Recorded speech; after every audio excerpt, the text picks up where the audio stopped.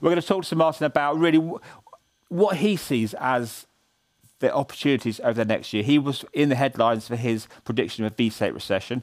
Don't know if that's changed. You know, the world's changing at such a fast speed at the moment. But let's go and talk to Martin and see what he's got to say. So that's it from me for a bit. Sit back in your armchair or your sofa or wherever you are, relax, enjoy the amazing content we've got to lunch each day.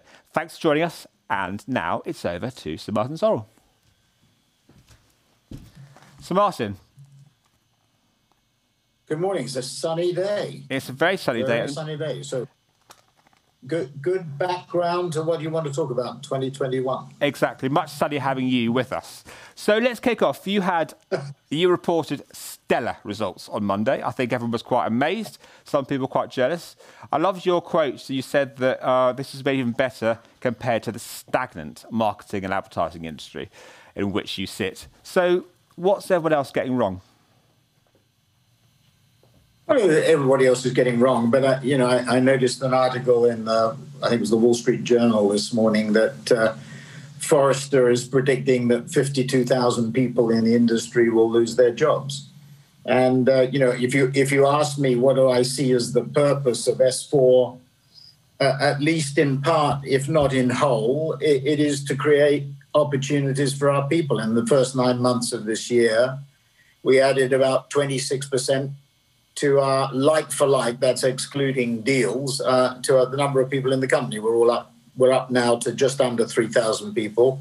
Obviously, we're hiring. We've had hiring another 300 people, or 10% of our of our workforce uh, around BMW, and there are some other things to come where we will be hiring another 10%. So we should be up to about 3,300 people as we we enter or in the first quarter of next year. So we're very bullish. But the reason we're bullish is we're in the sweet spot of the economy, the, the digital part of the business. And as you know, Justin, this year digital was probably flat to up a bit, whereas traditional media was down by 10 or 15%. So the analog companies, and you, you saw yesterday the announcement about fusing, if that's the right word, AKQA with mm-hmm. Grey. I mean, it, it just points up yet again this uh, this very difficult problem of trying to move an analog business to uh, to to a digital business. And when we started S4 two or three years ago, we were lucky. We, the good news was we had a clean sheet of paper. The bad news was we didn't have scale. But we're starting to get our scale and starting to get conversion at scale with with clients. And digital this year will be fifty percent of the worldwide spending on advertising media 550 to 600 billion last year maybe 500 to 550 billion this year next year it, it, digital will grow by something like 20% and by 2024 digital will probably be two-thirds of the world's global media spending so uh, the, the prognosis for the digital part of the industry is extremely strong just to your your question about I, I don't think that people are necessarily doing things wrong. It's just that the tailwind, and when I started S4, I wanted to concentrate where the growth was. The, the tailwind just isn't there in traditional media. Um, you know, t- turning to 2021, I'm very bullish on 21 because we will see that there's a big macroeconomic tailwind. GDP globally this year is down about 5%. GDP, GDP globally next year will be up 5% or 6%. I think Goldman Sachs forecasted around 6%. So the underlying economy, you know, when was the last time that we saw the world economy growing at mm-hmm. 5 or 6%? The answer is we have to go back a long, long time when inflation was rampant. So I, I think the underlying economy, and then we have obviously the good news around the Pfizer announcement, the Eli Lilly antibody announcement, the likelihood we'll have a couple of more vaccines uh, in, in, uh, approved in production, available, and people vaccinated, I would say by Q2 of next year. I think the winter is going to be very difficult. You referred to Soho being a, a brighter place. I think it's going to be very difficult in the winter months mm. with the temperatures lower in the northern hemisphere with the virus, virulent new strains of it, you know, amongst the mink population or the dead mink population in, in Denmark uh, and elsewhere. I mean, I, it, it is, I think, very serious. Cases, obviously, in America, over 100,000 a day. Obviously, what's happening in Western Europe on lockdowns and virulent cases as well of the virus. I mean, not good news for the next three, four, five months. But after that, I think when spring comes, I think we, we will see a very, very strong uh, economy, certainly for 21. And I think going into 22, the forecasts for GDP for 22 would be around 3 or 4% growth, which again is strong. So I'm very bullish, maybe because we're in that digital sweet spot and we're we're built around first party data and digital advertising content and programmatic and performance, and we're built around faster, better, cheaper, and a unitary structure. But I'm bullish about the prospects for 21 uh, and, and, and for the digital part of the industry. Traditional is going to be tougher. You mentioned there the AKQA and Grey merger, which was something you never would have ever considered going back sort of 10 years ago. It's quite a shocking move. Not the same, I thought, as when Accenture bought Karmarama, which again was such an amazing move. You were quoted in an interview last week, I think, saying that Accenture is your real competitor at S4 rather than the big agency network groups. So, how does that going to affect how you reshape S4 potentially? Well, uh, our, our, competition, I mean, certainly on the BMW pitch, um, it was WPP, it was IPG, it was Dentsu, it was Accenture, and Service Plan and Beryls, uh, who united as well for the pitch uh, uh against us. And, and in another thing that we're in, involved in currently, Accenture was in the first round and got knocked out in the first round. I would say Accenture, we compete with the holding companies like in the context of BMW, or, or actually one of the tech platforms that we recently won a piece of business from. It was RGA, which I think was the the digital agency of the second decade of this millennium. I think AKQA was the digital agency of the first decade. To your to your point, uh, and I think the opportunity for us is that that third decade. But you know, our competition really in most of the things we RGA, huge, AKQA in the case of the tech platform I'm thinking of. Um, but generally, we really compete head to head with Accenture and in terms of deals. I mean, in terms of deals, the competition, the holding companies have evaporated from uh, expansion because they're they're contracting at the moment. They're declining by in Q3 anything between five and 10 percent. Dentsu yesterday down about ten percent in Q3. So uh, they're they're not a force uh, in terms of acquisitions. They may come back again, but it's private equity and Accenture really in both areas. Accenture uh, on the on the pitch front, if you like, uh, and expansion front, and then uh, Accenture and PE on the on the deals front. And in order to compete effectively, I mean, we're a pimple on the elephant's backside in comparison to Accenture. Accenture is 154 billion market cap. We're $3 billion market cap. We have about $500 million of revenue. They have more than 50 billion. So we're, we're, peanuts in comparison. But in order to compete more effectively, we will be building even further our tech capabilities. Tech is about 55% of our revenues. Our whoppers, that's clients over $20 million a year, uh, of the, the top five of the five that we whoppers that we think we will have going into next year. Three of them would be tech companies, one would be auto, and one would be FMCG. So, so I think you know our our our portfolio of clients is much more skewed to tech, and as you will have seen from one of the analysts that follows, we have about seven analysts now following S4. One of them, BNP Exane, did a LinkedIn analysis of our people, and our people tend to come from the platforms okay. and from technology. The comparison was to WPP and Publicis. More of their people obviously come from the agency networks and the agency holding companies. So the nature of our workforce, the nature of our people, and the recruitment that we're doing at the moment of 300 to 600 people that we're recruiting in the US and Europe, those people, by their nature, tend to come more from the tech part of the business mm-hmm. uh, and the tech platforms so people who run our businesses come from Salesforce, they come from Google, they come from Yahoo. They don't come uh, ordinarily from from the holding company. So a very different group of people. But systems integration, you know, that will become more and more important for us. We're more on the art side of the business and on the content. Uh, I would say Accenture is more on the science part of the business. They've left their businesses, to your question, relatively unaffected. You know, Droga is separate, the Monkeys is separate, Shackleton's separate, Kolle Rebbe is separate, Creative Drive is separate.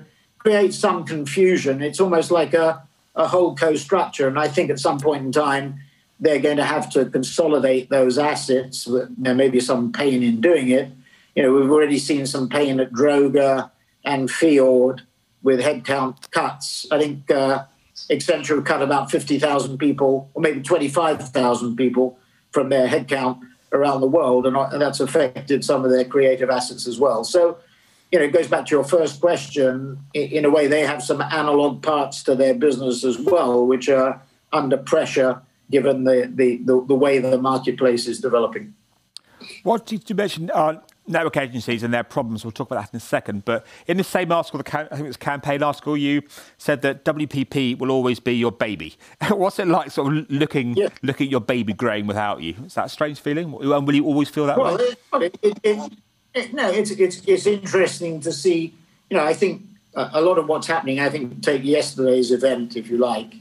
Uh, I, I, I find it. I, I don't know whether it was because campaign uh, got hold of the story, it seemed to be a little bit rushed.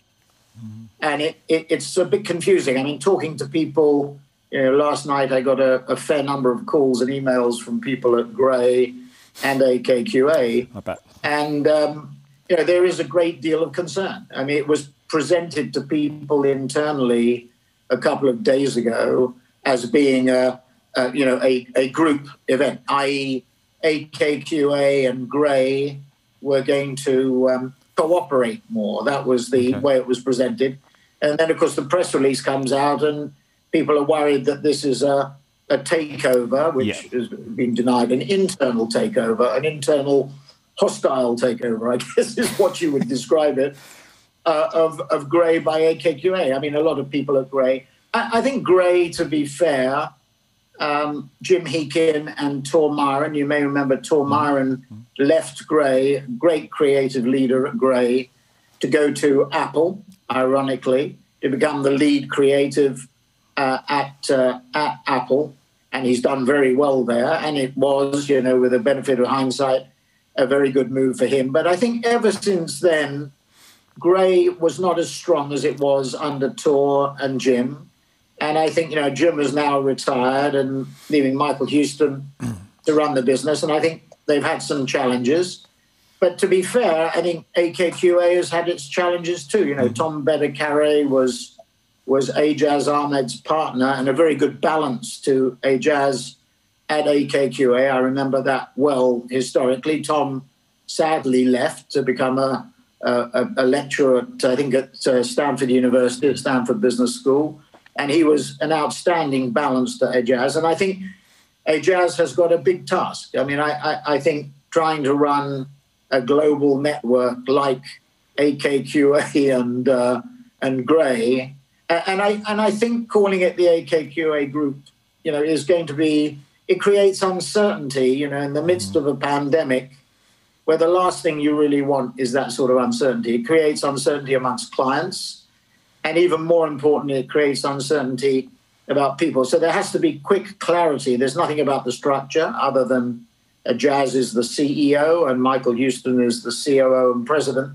and everything else will fall into shape. But it, it struck me a little bit like management by spreadsheet and a sort of consulting type decision without really thinking through the consequences. It, it, it's not a plan unless all that was intended was we're going to work together. Well, you know, if it was going to be more horizontality, as we used to call it, then fine. But if it's more than that, I think you have to you have to say so. So I think it has caused initially a lot of confusion, but these things always do, and no doubt it'll settle down. Uh, uh, the final thing I would say is when you do things like that, the critical issue is the strength of the leader. So, you know, John Cook at a VML and a Y&R, Mel Edwards at a Wunderman and Thompson, Ajaz Ahmed at uh, AKQA and Grey. I mean, WPP have lost a lot of very good people. I mean, Nick Emery in slightly strange circumstances.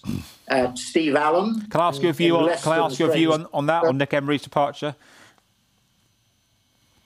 Well, listen, I say Nick has spent 23 years of his life uh, building up Mindshare from scratch. You know, with Dominic Proctor and others. It is true uh, and was a, a, great leader of Mindshare, just like Steve Allen was a great leader of Mediacom. Uh, you know, I understand Steve chose to go. It was different with Nick.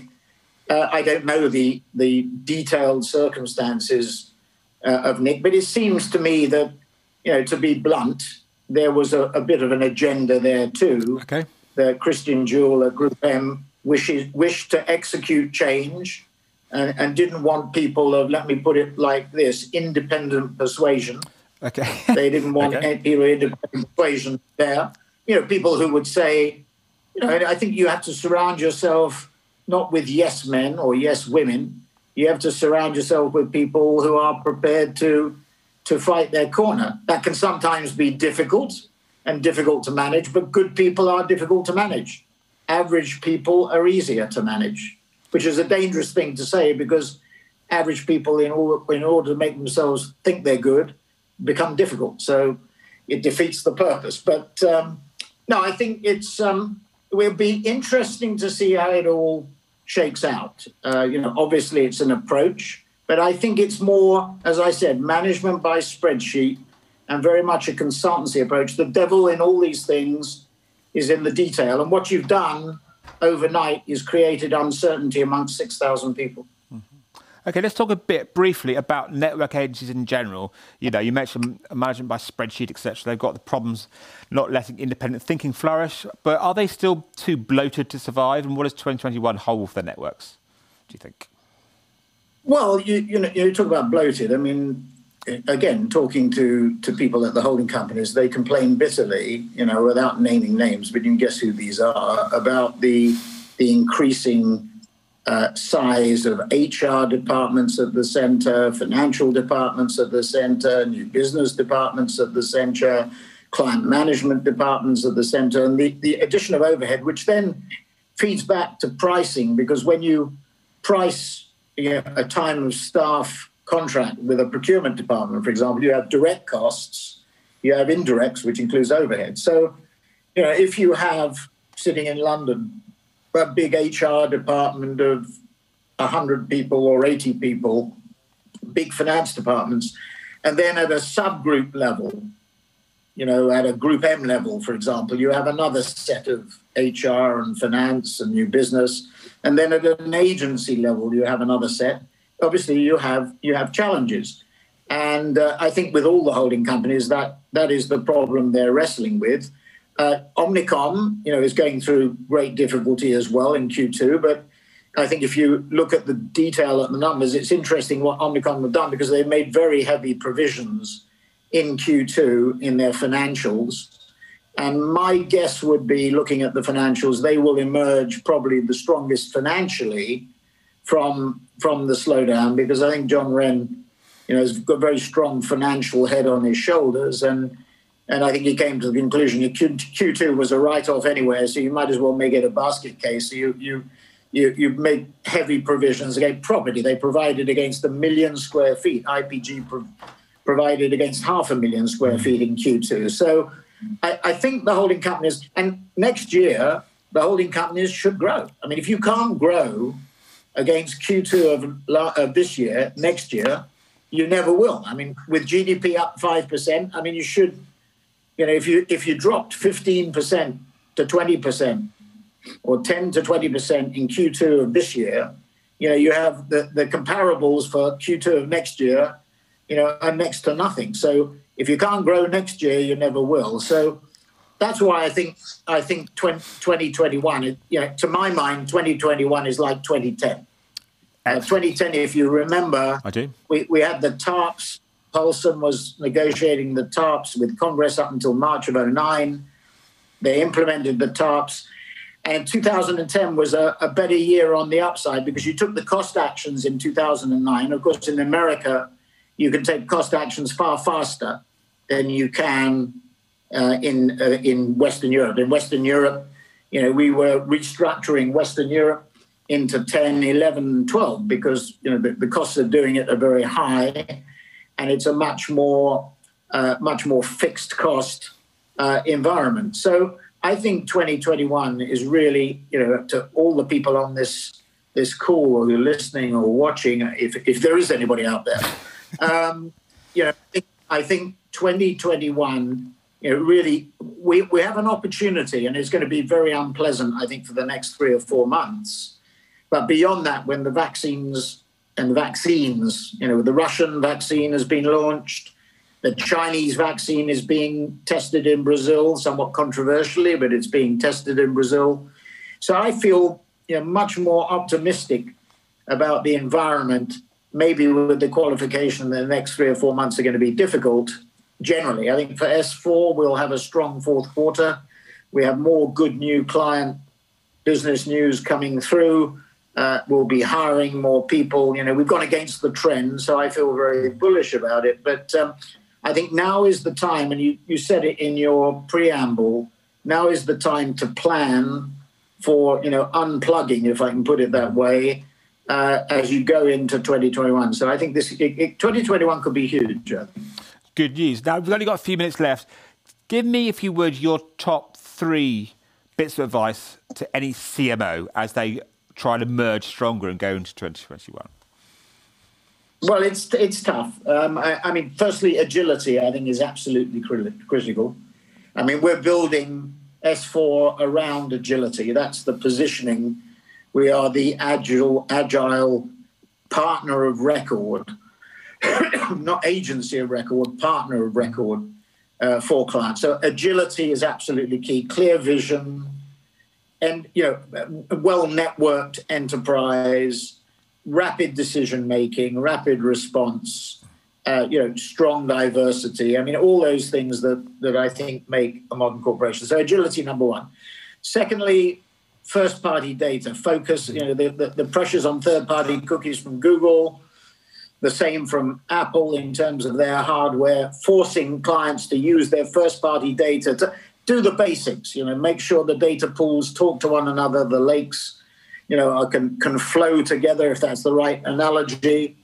Uh, and, and then I think the third thing is marketers have to take back control. You, you, you have to run, the, the, the, the pendulum switch, switched to outsourcing uh, after 2010 because of co- reducing costs. In a 24 7 always on digital environment, CMOs have to control data, control content, and co- control media distribution. Now, it doesn't have to be in housing, it can be an embedded model, but it has to be. You talked about personalization at scale. That's, I think, the theme of today. You know, when we do, when we apply the Netflix model, Marc Pritchard, I think, is applying the Netflix model to Procter and Gamble, and Procter and Gamble are having extraordinary success. You know, up nine percent in their product categories to up nine percent in the last quarter is huge. Unilever up four percent.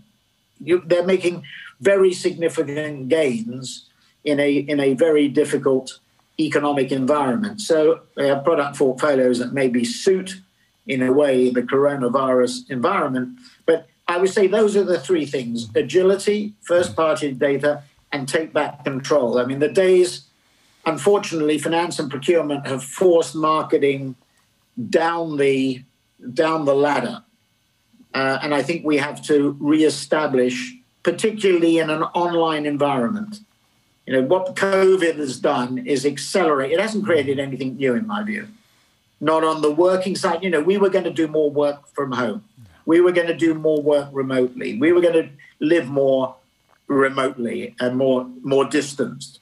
We were going to commute on a more varied basis. We were going to do more online education. We were going to do more online financial services, or more online gaming and in-home entertainment, more online shopping for necessities and groceries. You know, one third of America mm.